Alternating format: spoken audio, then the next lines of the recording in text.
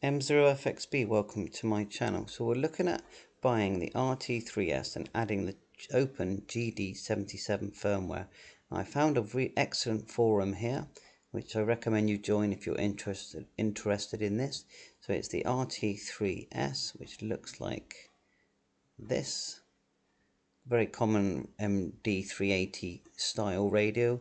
I think it's called the MD380UV if you buy the dual band model and that will work as well. And so does the GPS model. So I'll put the links in the description. Here's the OpenGD77 sort of user guide. And we've got lots of other links here as well. So check it out see what you think. And uh, there's a lot of advantages to running this software. So have a look scroll through and you'll see all the different uses to do with you know talk groups contacts. You've even got a band scope there. Uh, oh it's just the list is endless of the advantages and there's no point me reading them all to you. But um, the functionality of, of the radio it just vastly vastly improved with with this. The, the, the RT3S is still a good DMR radio you know budget DMR radio. But with this you just get fantastic features. So check it out Links in the description. 7-3. Bye for now. All the best.